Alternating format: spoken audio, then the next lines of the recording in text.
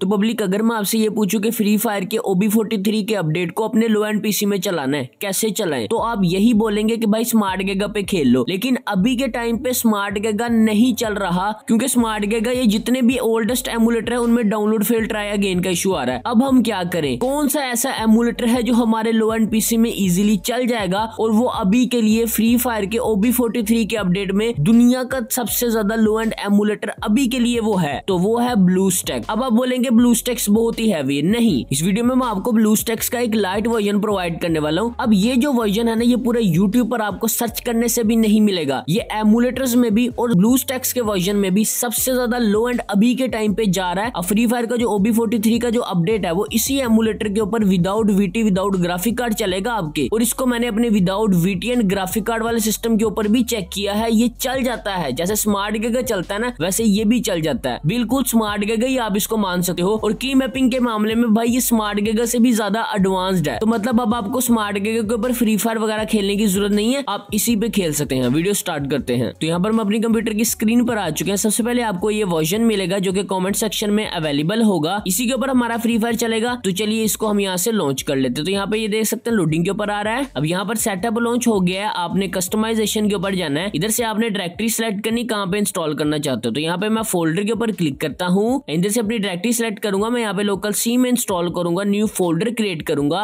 इसी फोल्डर के ऊपर हम इस एमुलेटर को इंस्टॉल करने वाले हैं। जब आप इसको चलाएँ प्लीज़ यार बैकग्राउंड में कोई भी चीज़ मत चलाएँ। ये ब्लू स्टेक्स थ्री पहले के टाइम पे हैवी हुआ करते थे। हैवी इस सेंस में मैं बोल रहा हूँ कि ये आपके सिस्टम को हैंग करते थे। अभी के टाइम के जो एमुलेटर है, वो सिस्टम को हैंग नहीं करते, लेकिन वो चलते भी नहीं है। लेकिन ये चल जाएगा आपके सिस्टम में। इंस्टॉल हो जाने के बाद आपको कंप्लीट के ऊपर क्लिक करना है। ब्लू स्टेक्स का जो वर्जन राइट क्लिक करके इसकी प्रॉपर्टीज़ में जाओ। कंपेटेबिलिटी में जाओ। इधर से इन दोनों को टिक कर देना। एंड यहाँ पे अप्लाई करके ओके कर देना। उसके बाद हम अपने ब्लू स्टेक्स को लॉन्च करते हैं। बस ये छोटी सी सेटिंग करना। अब यहाँ पे देख सकते हो हमारा ब्लू स्टेक्स जो है वो यहाँ पे लॉन्च हो रहा है। ये अब आएगा आपको। इसको आपने कंटिन्यू करना है हमेशा, ठीक है? अब डाउनलोड नहीं करना। सेटिंग्स के ऊपर जाते हैं। अब इधर से आपको क्या करना है? अगर आपके सिस्टम में ग्राफिक कार्ड नहीं है, वैसे तो ये इसमें भी चल जाता है। ये इतना लो एंड है। इसमें भी चल जाता है बगैर ग्राफिक कार्ड के मैंने चलाया। लेकिन हमें इसको रखना है यहाँ पे। एट रख के ये बाय डिफ़ॉल्ट अपनी रेजोल्यूशन निकाल देगा। आपको इसी पर ही खेलना मैं इसी पे आपको खेल के दिखाऊँगा। अभी ये बाय डिफ़ॉल्ट पे नहीं मैं कर रहा। एंड नीचे आपको जो ग्राफिक्स है। इसको डायरेक्ट एक्स पे ऑलवेज जाना है। ओपन जीएल पे नहीं जाना। कोर को वन एंड टू के दरमियान रख सकते हो। रैम को भी आप वन जीबी के ऊपर ऊपर आप रख सकते हो, ठीक है? जितनी रखना चाहो, आप अपने अकॉर्डिंग रख सकते हो। अगर चार जीबी रैम है तो दो जीबी रैम दे देना। बाकी सेटिंग्स जितनी भी सेम एज इट इज़ ऐसे रहने के बाद अभी हम क्या करेंगे? ये रिस्टार्ट करते हैं अपने एमुलेटर को। अच्छा जी तो हमारा स्मार्ट गेगा लॉन्च हो गया। अब हमें क्या करना है? इसके ऊपर अपनी आईडी साइन इन करनी है। आईडी आपको वो साइन इन करनी है कि जिसके ऊपर आपका, अगर आपका जीमेल का अकाउंट बना ना, वही आईडी आपने साइन इन करनी है, ताकि हमें बार बार लॉग ना करनी पड़े। एप्स के ऊपर जाना है इधर से हमें गूगल प्ले स्टोर को ओपन कर लेना है। इधर से सर्च बार में जाना है सबसे पहला हमें एप्लीकेशन डाउनलोड करना है क्रोम तो इधर से ये क्रोम आ चुका है, इसको मैं इंस्टॉल करूँगा। क्रोम क्यों इंस्टॉल करें? उसकी रीजन है कि इसके अंदर आपको लॉग नहीं मिलता। फेसबुक का लॉग क्रोम के अलावा नहीं कर सकते। जितनी मर्ज़ी ट्राई कर लेना तो इसलिए क्रोम चाहिए चाहिए हमें। एंड इधर से ही आपको अपनी फ्री फायर को भी डाउनलोड करना है। तो हमारा फ्री फायर भी इंस्टॉल हो गया, अभी हमें फ्री फायर को लॉन्च नहीं करना, अभी हमें अपनी फेसबुक आईडी को साइन इन करना, अगर फेसबुक की आईडी है, आपने क्रोम को ओपन करना, ये देखिए अपडेट का इशू आ गया, इसको आपने अपडेट ज़रूर करना है अदरवाइज़ आपका जो क्रोम है वो नहीं चलेगा। तो इधर से मैं अपनी गूगल प्ले सर्विस को भी अपडेट कर लेता हूँ तो अभी हम क्या करते हैं, अपने डायरेक्टली फ्री फायर को लॉन्च कर लेते हैं। इसके ऊपर बहुत सारे प्रॉब्लम आने वाले मैं बारी बारी फिक्स आपको बताता जा रहा हूँ।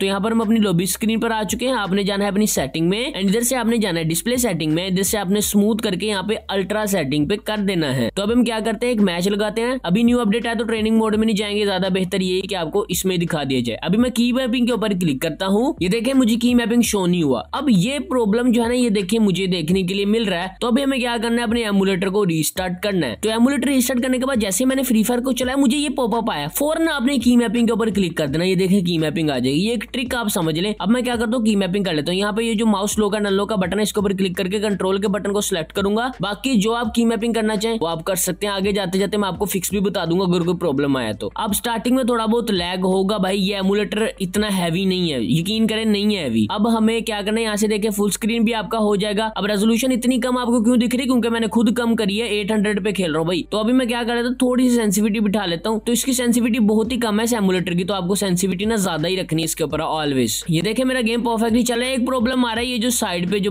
होता है ना, ये वाला जो का प्रॉब्लम इसका फिक्स बहुत ईजी है। आपको अपने एमुलेटर की सेटिंग्स में जाना है पिकअप्स में जाना है कस्टमाइज पे जाके इसको छोटा करके साइड पे रख देना, बस इतना करना है आपको। उसके बाद ये भी चीज़ आपकी फिक्स हो जाएगी। एंड देन उसके बाद आपने की मैपिंग के ऊपर जाना है। यहाँ से भी डीपीआई को बढ़ा सकते हो। अगर आपको डीपीआई थोड़ा और चाहिए ना, इधर से आपको मिल जाएगा। ये देखें तो इस तरीके से आप फ्री फायर को इसके अंदर खेल सकते हो। अगर आपको की मैपिंग का कोई प्रॉब्लम आता है, बस की मैपिंग का वो बटन उधर ला बाइंड कर देना। बाकी सब कुछ परफेक्ट है। अगर आप ये चाहते हैं कि भाई आप प्रूफ दो इसका। मतलब कि ये बगैर ग्राफिक कार्ड में चले और वीटी भी ना आए इसमें हमें प्रूफ चाहिए। तो मुझे कमेंट करें, मैं वीडियो बना दूँगा। अभी मेरे पास कैमरा नहीं है वेबकैम वाला, वरना मैं आपको भी दिखा देता, जिसमें मैं आपको वेबकैम प्रूफ के साथ विदाउट ग्राफिक कार्ड वाले लैपटॉप में खेल के दिखाऊँगा। ऐसे क्लिक बेट नहीं मैं करा बिल्कुल चलता है ये। मिलते हैं अगली वीडियो में, तब तक के लिए खुदा हाफिज।